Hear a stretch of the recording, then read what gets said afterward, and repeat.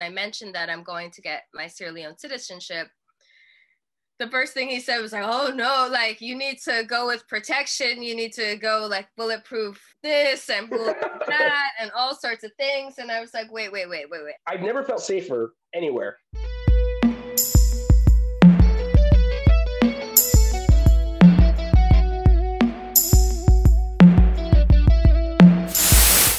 Hi everyone, thank you for watching Square Huxtable YouTube channel. I'm here with Darnell and I just want to intro how we met.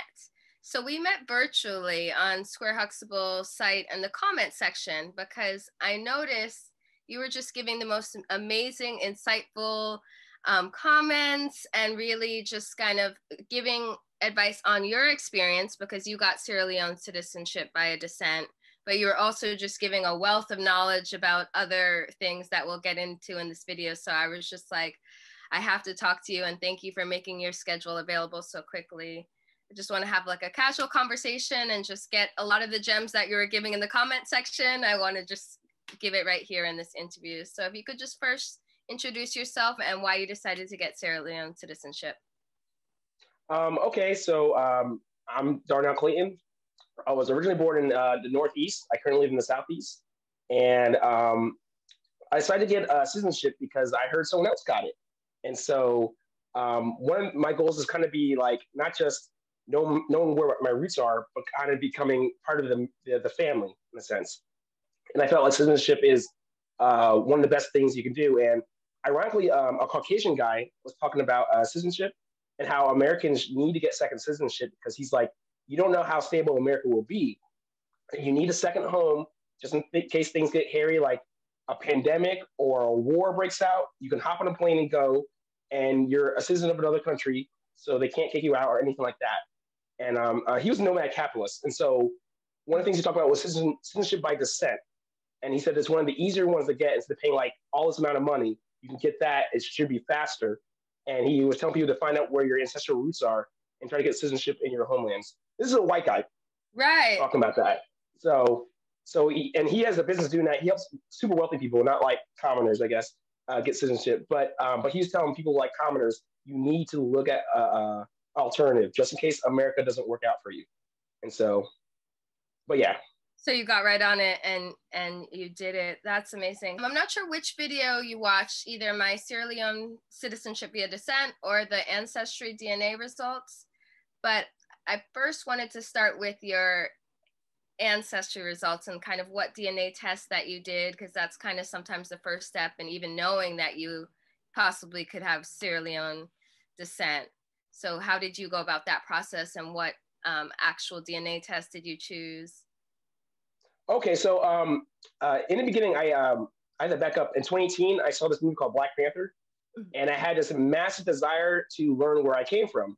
Mm. So I was Googling websites and I saw like, you know, Ancestry.com and 23andMe, and they kind of told regions, which is like, well, I was like, well, I guess that's the best you can get, I guess, because, you know, the transatlantic slave trade kind of erased a lot of stuff. And then um, I saw a YouTube clip uh, with Chadwick Boseman. The late Chadwick Boseman was on the Breakfast Club, and they were all talking about um, which DNA test they took because Chad was was saying he had to prepare for his role, and T'Challa knew where he was from, but he, as an African American, did not at the time. And they're like, "Oh, what'd you take?" And and he he was like, I took African ancestry, and one guy's like, well, I took ancestry, and they said they came from West Africa, and Chadwick, Chadwick was like, you took the wrong test, and I'm like, dang, Chadwick, that's pretty harsh. You know, he's like, you may be Black Panther, you can tell you did the wrong test, but Chadwick was breaking it down. He was like, they can tell you regions, like, and some of these regions are the size of the United States. So that's like saying you're from America, but where? There's 50 states in America. Um, but Chad was talking about tribes, and he started naming off his tribes, um, like Limba and Sierra Leone. Fun, so am I. and, and, and, and uh, um, uh, Yoruba and, and, I think a few others, and they were just like amazed. And I was like, you can do that. And so I went to Ancestry's website, and then I was, uh, uh, how you put it, sticker shocked by the price because it was like three hundred dollars uh, per kit, and I'm like, why is it so expensive? Because Ancestry's like fifty bucks, and all those were cheap. But little did I realize, um, I learned it later on. There's a reason for this. Okay. But then I was thinking about like you know what? My grandmother, my great great grandmother, like always, this like my ancestors would have killed to know where they're from, and they never had the opportunity. And here I'm whining about a price when I wouldn't hesitate about uh, dropping that money for an iPad because I was thinking about getting like a cheapo iPad at the time, which I thankfully didn't get because it was a bad iPad. I got a better one later on. Um, and so I purchased both kits, and then I waited, and um, when, I got my. I cut you off. When you said you purchased both kits, you did the maternal and the paternal. Okay, great. Yes. Mm-hmm. And so um, they give me a 10% discount, so I paid like $530. Mm-hmm. And so my uh, paternal one came back first, and it was Yoruba in Nigeria. And then I put my results out um, on Instagram, and then people from the Yoruba tribe started reaching out to me like immediately. They're like, "Welcome to the family. Yeah, come visit us and everything else." And um, and that began uh, another uh, journey toward me visiting Africa, Nigeria later on. Mm-hmm. And then later on, I got my uh, maternal results, and uh, it was like five tribes, which I was kind of surprised. And one of them I could have guessed because I remember seeing a little girl, um, a Pella girl, and she looked like my mother. And so I was like, I wonder if I'm Pella because you know I didn't know, but then the results came back uh, Pella for as well as Mandinka, Fula, Mende, and Temne as well. So so that was that was kind of like surprise. So yeah. Oh, that's. Did you even know that some of the countries were offering citizenship via descent at that time, or how did you make that transition? Um, I didn't know about a citizenship at all. I didn't know about citizenship uh, as far as getting it in another country. Um, I heard about as Isaiah Washington from like a random Google article. He had gotten it years before. And uh, the government of Sierra Leone actually was not even partnering with African ancestry at the time. They were doing it on their own. And so when African Americans came back, were like, I got these results, they were giving out citizenship. And so that was without, without any official partnership. And African ancestry found out afterwards. And now they have an official partnership with Sierra Leone. And so, um, and, and uh, last year was the year they, they made it official. And I, I was able to join in on, on that. That's when I got my uh, citizenship with like uh, 58 other people uh, in, in Sierra Leone. So. Okay, great. And I want to speak to that because on my videos, Sierra Leone via descent, um, I put up the guidelines that you have to go through in order to qualify and you go through a tour operator. But um, in the guidelines that's on the ministry in Sierra Leone's guidelines, it might list African ancestry, but it says any other relevant tests. And come to find out that now i think when they did those guidelines i think you didn't have to only go through african ancestry but i definitely want to make it clear on this video because i didn't make it clear on the other one because i was still kind of confused that i thought you could use other dna tests. Right now they have a I, I'm calling it an exclusive contract. They might not call it an exclusive contract, but with African ancestry. So anyone watching this that's really interested, that's going to go out there and and go try to get their Sierra Leone citizenship, please go through African ancestry. I don't work for African ancestry. I don't think Darnell works for no, African no. ancestry, but we're just letting you know that right now that's that's the only way. I think in the future, one of the tour operators told me that they're looking to make partnerships with other DNA tests, but right now it's African ancestry if you want to go through this process. Okay, awesome. Yeah, I think that's mainly because okay, like uh, there's other companies, um, even some mainline ones, are now starting to identify tribes, mm-hmm. but their focus only is on large tribes or famous tribes. Like for instance, Mende are famous from the Amistad.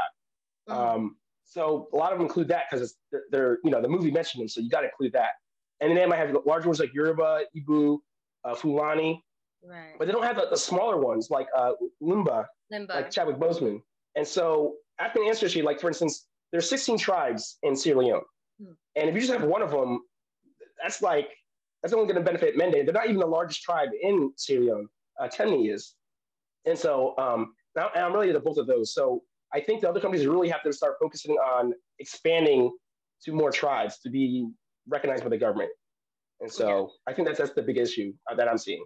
Yes, so true. Agreed. So great. So you you found out about citizenship and tell me like just like the highlights of that process. Was it a smooth process? Um, is there any like tips and tricks on, you know, that helped you in getting the citizenship done? And then I want to fast forward to you actually going to Sierra Leone and talking a little bit about Sierra Leone because so many people have so many questions for me.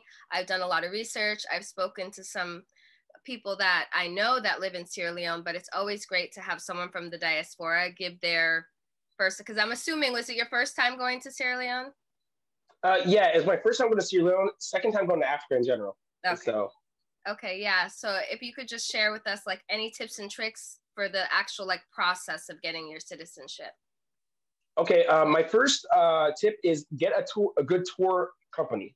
Um, like uh, I had to use Visit Sierra Leone. Um, they're great as well as, and you can use African Ancestry, um, but they will handle your paperwork as well as all the details. Um, when I was in immigration office, uh, Visit Sierra Leone, I could have been in that in 15 minutes. Like that's that's how great they were. Make sure I had all my paperwork and everything. But the government wanted all of us to, to get all our stuff together, and some people um, didn't have the best tour guides. They forgot photographs. They forgot money for the passports, um, uh, certain documents. So I had to wait like I think several hours for everyone else to finish up. Um, so if you have a, a good, good, tour guide, uh, visit your own after answering, they will handle all your questions and uh, make sure you have all your documents too before you arrive. So when you get it done, it's just a smooth sailing process. So. Okay, awesome. And then tell us a little bit about landing in Sierra Leone for the first time and how was that experience? I know since you're going through a tour operator, they probably have pre-planned um, events and different places that you need to visit, but just in general, tell us kind of how that experience was. Um, it was um, actually pretty easy. Like, okay, so when I first landed, like uh, Visit Leone pretty much took care of me from the moment I um, left the plane. Um, my biggest obstacle was finding out where they were at the airport. Mm. Um, getting that negative COVID test, you have to take one um, on site, and then they prick your fingers too. They have two different tests. Okay. So I was kind of surprised by that. Yeah. Um, and then um, they made sure I had uh, a cellular company. Make sure I, if you have dual SIM on your phone, they make sure you're hooked up with that. And uh, they you have to take a ferry to go to across. And so they got all my stuff, and then I was able to take a ferry, and they brought me to uh, where my hotel was at, uh, which I went through Airbnb. And so um, it was, uh, I landed at night, and so it was a, a fairly uh, quick process, I think. And so. Okay, awesome. So the Airbnb, you had to secure your own hotel or that went through the tour operator and they booked that? Um, you can go through the tour operator. I'm kind of more of an adventurer guy, and so I usually I try to do um, hotel and everything else. Um, I probably would not have used a tour guide, but you know you have to for the citizenship, which is a smart move by Sierra Leone because people are just flying in and out before, and they want people to know the history and the culture, not just get a passport and leave and only know how to spell the name of a country. That'd be bad. And so um, that's what the tour guides are there to give you a historical pers- perspective, as well as um, connect you to in- your ancestral village. Like the government doesn't want you just seeing the tour highlights, as well as um, and, and, there's some good like beaches there, and also um, visiting places where your, our ancestors were uh, tortured, like uh, Bunce Island. Bunce Island, yeah. But they want you to see some of the villages in the rural areas um, that are of your tribe, not just a random tribe, not just oh, here's a uh, some people making a hut. Like this is your tribe, they're speaking your language, and these are their customs. And so, so okay. yeah. That that's great, and that's the thing. A lot of people have asked me, kind of, do you have to go through tour operators? And a bunch of people emailed me and different things like this. Yes, you do. And Darnell explained it excellently. Like, it is for to your benefit. Um, no matter how well traveled we are and how um, we're comfortable because like you i kind of prefer to go through tour operators where i can customize things and i can make certain decisions some people like a pre-package just tell me where i'm supposed to be and things like and that's great too but um, i can't stress this enough we the diaspora really all of us need to go back to our home and whether we're going back to live permanently or we're just going back to visit, I think it really needs to be ingrained in us because it wasn't really promoted to us that this is a safe place for us. This is our home. We're going to have good experiences. We're going to have bad experiences there, just like anywhere else, but we need to reconnect. And one way of reconnecting, we, we need to reconnect as Africans. And I think a lot of people forget that okay, I want to go and I want to do this how I normally do this. But no, just like you said, you need to know and understand your roots. You need to know, doesn't mean you're going to go live in your village. Um, you can, but until we really know who we are, I think we're not really going to evolve as, as who back to the kings and queens that we really are. And so I think that's amazing that the tour operators offer that and so that's so great to hear so you're mende and i i noticed you have a vimeo page and i watched one of the videos and it was amazing i think you visited a mende village? I, I visited um, a Mende in Temne, and so I I visited a, a uh, village. Okay. And it was cool because I, I I had a personal driver, and he was Temne, and my translator was and tour guide was Mende, and so they were able to give me for like a week straight up details and stuff like that, um, and, and hidden gems. So, but I had a blast uh, hanging out with them, and they're friends now, and um, as well as with the village, which I'm also friends with, and uh, we communicate on. Uh, I try to communicate on a daily basis if we can. Um, wow. But yeah. And the one question that a lot of people have, and I actually have, because I I'm a TV producer by trade, and so I've traveled. I've I've only been to Uganda for work, so I haven't been to Sierra Leone. And one of my coworkers that I work with, and he's traveled to a lot of different African countries. When I mentioned that I'm going to get my Sierra Leone citizenship, the first thing he said was like, "Oh no, like you need to go with protection. You need to go like bulletproof this and that and all sorts of things." And I was like, "Wait, wait, wait, wait, wait." And I was just joking with my friend. I'm like, "You're very like." I lived in Jamaica for years, and he says the same thing about Jamaica, where I didn't experience that. So I'm like, "You're just very much like that. I'm not doing that." But it's always best to talk to people who have been there to see kind of what did you feel like in terms of your safety and your security because when i research i'm not seeing any of those red flags like my friend was trying to warn me okay so here's the weird thing um, the us government actually puts out warnings about sierra leone nigeria um, and i think when i went to nigeria the first time they're telling me I, I was going to get raped i was going to get like tortured and everything else and I was so scared of drinking the water, I brought like all these extra toothbrushes just in case, you know. And it's just silly, like it's, it's just dumb stuff, right? Um, I've never felt safer anywhere. Um, like I was out, I went out in Nigeria. I was out late at night with jewelry on. Like I had my African ancestry pendant, like not hiding anything, not hiding my accent, and I didn't have to worry about being harassed. You know, you're just a person in these countries. Um, Sierra Leone, is similar, but you're, since you're from America, you're from the diaspora, you're considered like a long lost family member. So you're kind of like a mini celebrity in a sense. Mm. Um, so, um, like when I was going to uh, one, one uh, checkpoint to a government area, and um, they're trying to like you know get papers and see where it's just like a random one. And one guy's like, "There's an African American with us." I guess that was like a password or something like that. And then I was just zip through a lot of uh, uh, uh places, and so um, but it is very safe in Sierra Leone. Um, your tour guide will also take care of you. Like they're not going to put you like in like an area like Detroit or something like that. Like right, and and I think that's the thing, and I think everyone that's traveling needs to recognize. Just like I live here in Los Angeles, there are certain neighborhoods that if you're not from there, I don't advise you to go. Do you know what I'm saying? And yeah. so, or in any country, in any major city like Freetown, there are certain areas as a tourist who aren't familiar with the lay of the land it might get sticky like anywhere else in the US, but I think it's very important not to label like whether maybe from a movie people have seen Sierra Leone where it's war torn and dangerous or a point in time and people speak in the present and warn people of things that I really don't think is real realistic.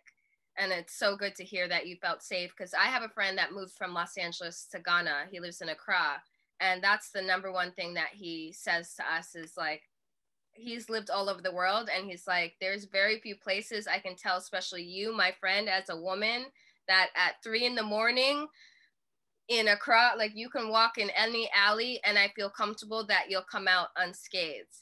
And that's not to say that obviously there is crime in all of these countries but to the level compared to even what we're experiencing here in the us it's nothing to put those same warnings that we do because same thing with jamaica we used to get warnings from the government the us government.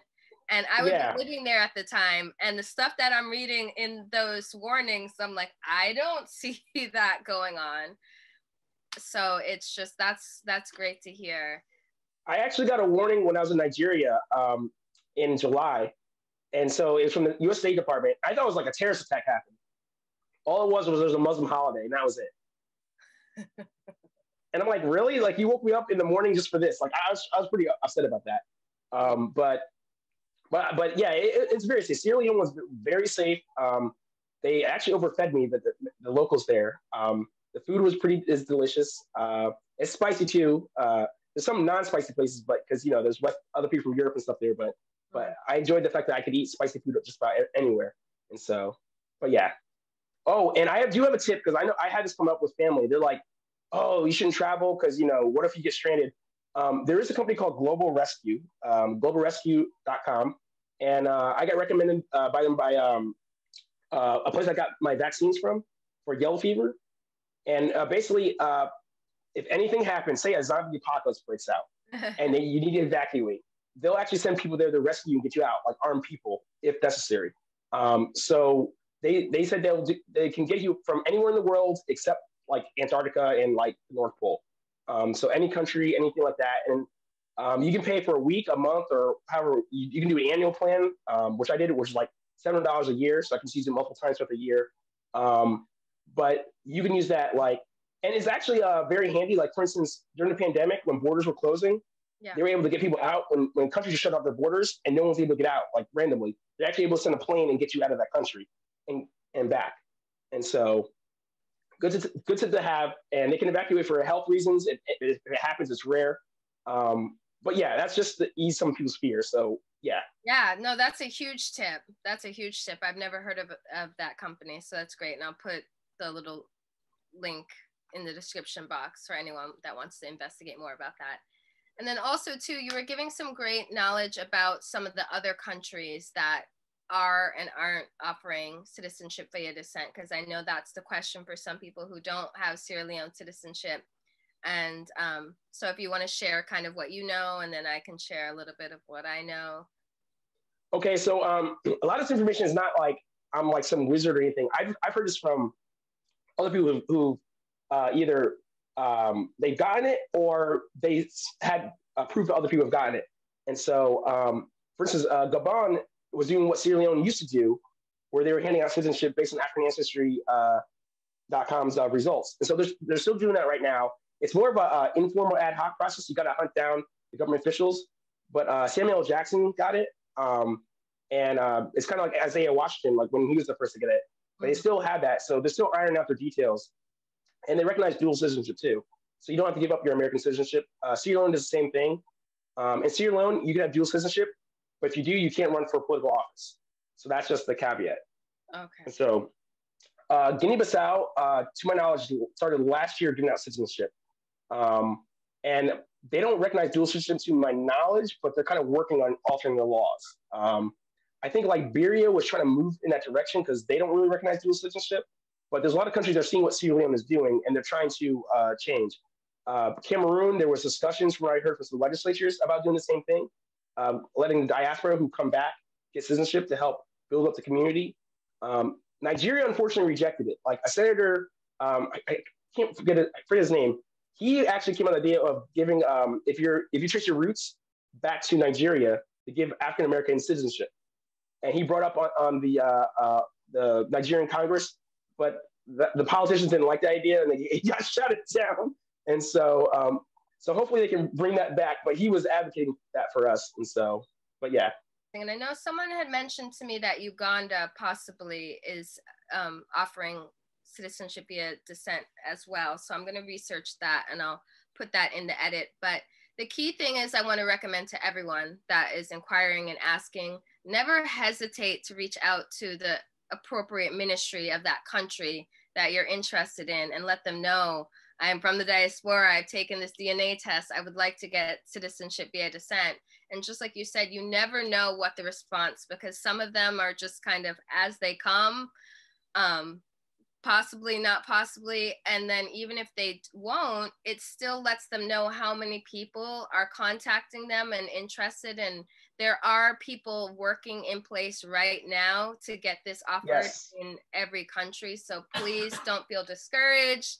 I know a lot of people are like, oh, I'm jealous. You have Sierra Leone. No, it, I really think in the next 10 years, this is going to be available to almost anyone. And then also, too, make sure you watch, I'm going to link it, the Sierra Leone citizenship via descent video that I did, because there is a little hack in there in terms of since there's ECOWAS, when you when you have Sierra Leone citizenship, you have access to Nigeria, Ghana, Ivory Coast, all those West African countries where you won't need a visa to travel yes. and work.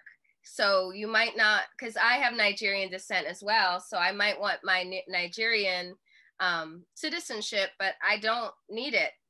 Once I have my Sierra Leone passport, I can go to Nigeria, I can go to Ghana without a visa. So, and hopefully, anyone who's watching that has the power to do so, I would love to see Africa where there are no visas required for Africans, even not just oh, the diaspora. They're working on that right now. Um, there's something called the African Union Passport. It was supposed to launch in um, 2020, but COVID hit. And so you have to be a citizen of an African country to get it. And so some people have it. They're still like uh, they're testing it around testing the, the, the, the, continent. Okay. But the purpose is once you get an African Union passport, it would be separate from your own passport. You'd be able to travel to every country without a visa, all 54 countries and you can set up business you can move you can migrate you can travel you can trade like and and that is the, the goal of that and so um, i think most of the countries are on board nigeria was one of the biggest hurdles they finally signed on to it and so um, they're still trying to roll it out. I'm still trying to find information myself about african union passport. Um, but with everything going on with covid like they, they just they halted Slow it. down the process. Yeah and that's so, yeah and people need to be kind to Nigeria because I did see some comments when um, I was on another platform and people were talking about how Nigeria rejected it. But we also need to understand that these are countries that have existed for how many years without us, the diaspora. And Nigeria is thriving, Nigeria is very populated. So I don't think there's anything wrong with them thinking our needs first and then and then look to see what our needs are. And so some things are going to take time. Um, every every country should do what's in the best interest for them.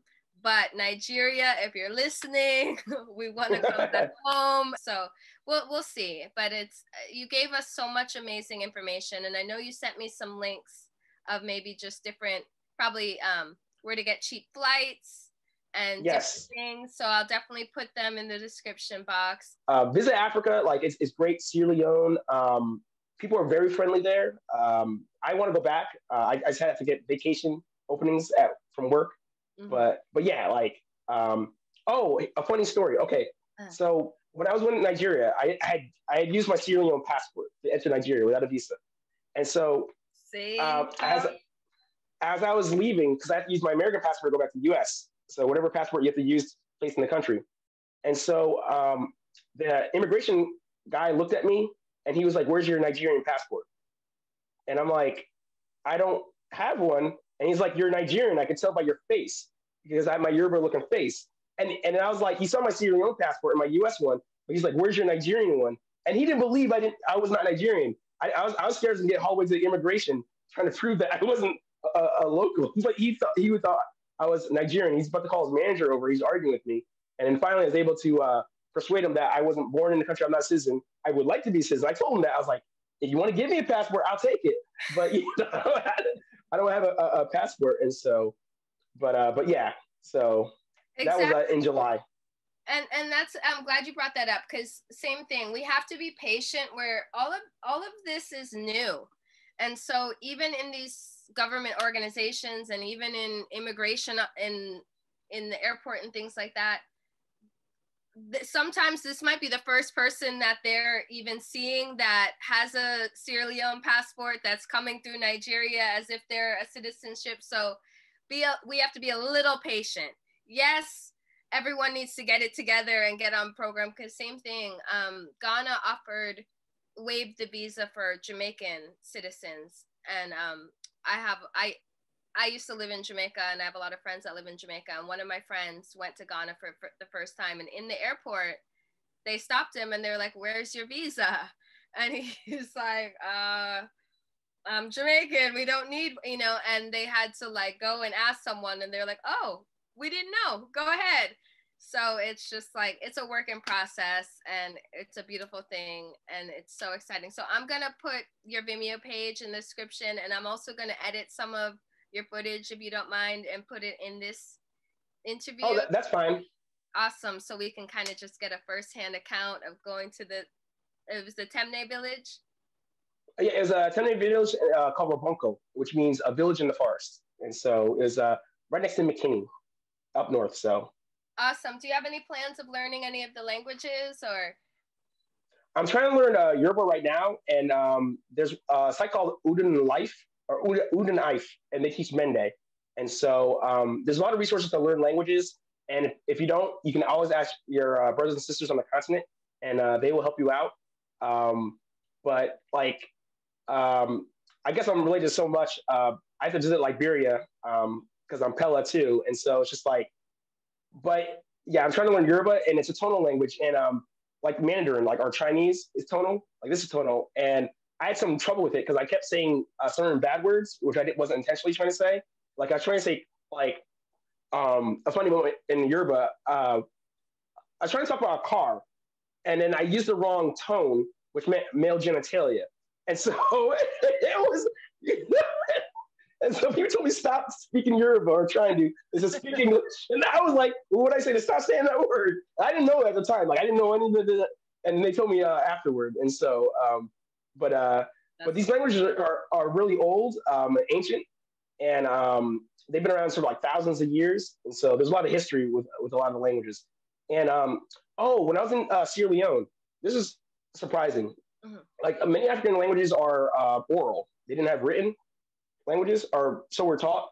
But my uh, tour guide uh, Andrew Bassi was talking about um, these. Uh, they almost look like hieroglyphics or writings on a stone. And I was like, "What are these?" He's like, "These are our ancient languages, but we have no clue what they are."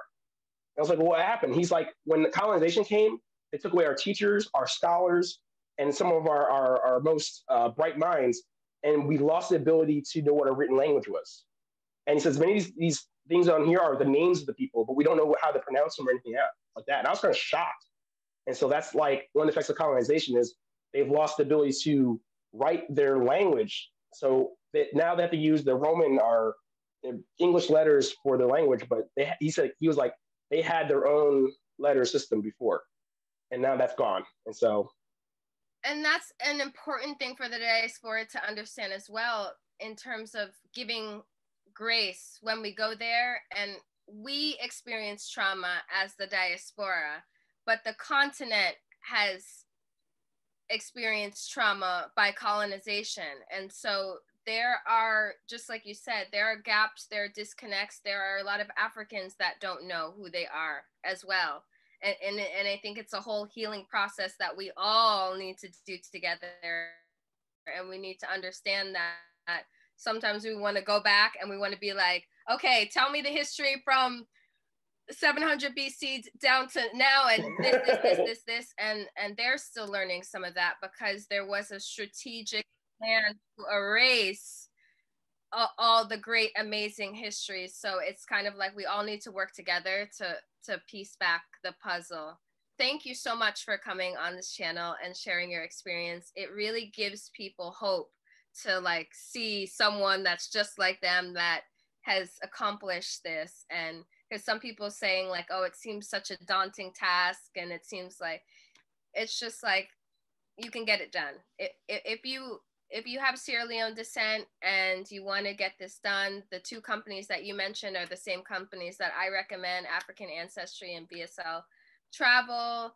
Um, they're great. They will guide you through this process. Do not feel discouraged. A lot of people are discouraged about the cost of the African Ancestry test. Um, you know, sometimes we just have to save. Sometimes I tell myself instead of getting Starbucks every week, I'm just going to put that money aside and you know you can figure out a way you know sometimes i told someone the other day i was like well the holidays were coming up you can ask your family to chip in and get you an african ancestry yeah. instead of you know? So and also for plane tickets there's a, a, a site developed by a, a woman from ghana called airfordable. And uh, basically it's like um, i've used them so many times I, I, love their service. Like and so when i was planning ceo and i was going to get my ticket so i went on google flights which you can find great deals on. Um, you go in calendar more, you find like cheaper deals when you're flying, okay. and then you basically um, you take a screenshot and you go to Airfordable's website, and they'll buy the ticket for you, and you just make payments over time. So you can make payments six months out, a year out, so then your whole ticket is paid for.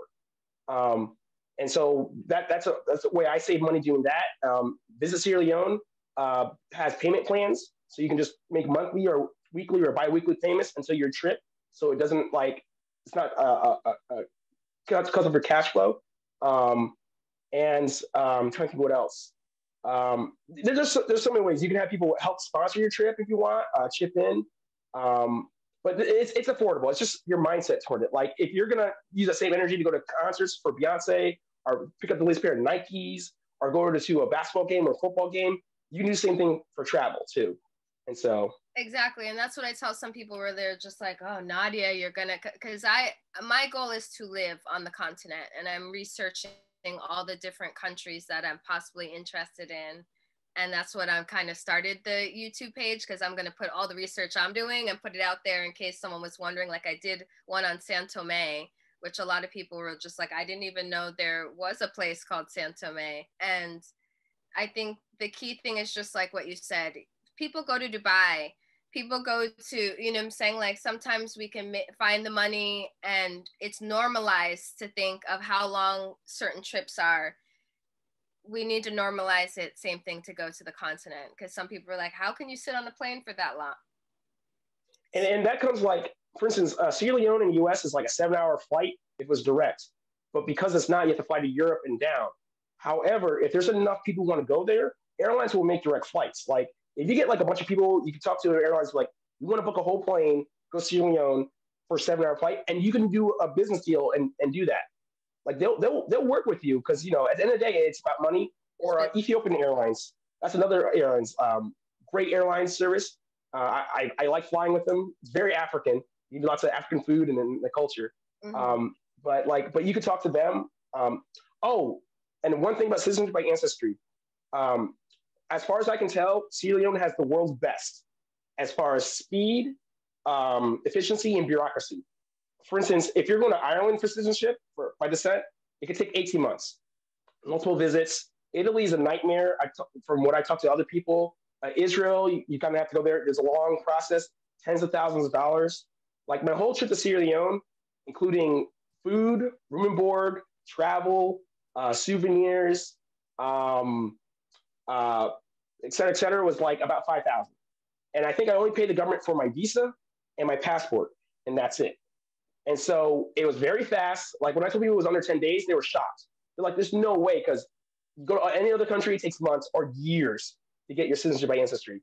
But Sierra Leone is in 10 days. And they're serious. They want us to come back. And African ancestry mentioned they have about 120,000 people who've taken a test that trace roots back to Sierra Leone and, and the government of Sierra Leone wants them all to come back. And so other governments are looking at that as well. Um, I know uh, Liberia, they try to change their law. The president is all for dual citizenship. He tried to have the constitution altered. He lost because uh, I guess the few didn't submit the vote properly. But I see him as, as an advocate for something similar to what Sierra Leone is doing. Um, and so other countries are looking at, at, this as well. And like you said, it probably be 10 years or less. But I think um, if Nigeria hops on, that'd be the big, biggest hurdle. The rest will just follow suit because Nigeria is considered like a big, the big boss on the continent. Yeah. and so um, they, they usually have a, a, lot of weight. I think the only reason Nigeria didn't do it is they have so many of their own citizens out. They're trying to get back, and so they're just like, you know, like they they want um, us to come back anyways, but the government's focusing on their their citizens first, and so. But there's there's some political will for us to get it as well. So ten years, I think Nigeria will be on board. Awesome. Well, thank you so much, Darnell. And I so hope to have you back on this channel sometime soon. Like, I'm going to have certain forums where I just kind of want diaspora to talk. And so, a bunch of different people, and we can talk about different things. So, you are definitely welcome anytime. Please stay connected. You've helped out a lot of people in the comments, and that's what it's for. We have to build all sorts of different communities where we can just share information and make it easier for each other. So, Thank you, thank you, thank you. It was so amazing talking to you. Oh, I had a blast. Uh, you're welcome. And I just like helping uh, us, our diaspora succeed. Thank you. Thank you for sharing all the information. Everyone, make sure you go to his Vimeo page and check out his amazing videos of when he was in Sierra Leone. And um, we'll talk soon. Okay, thanks. Thank you. Bye.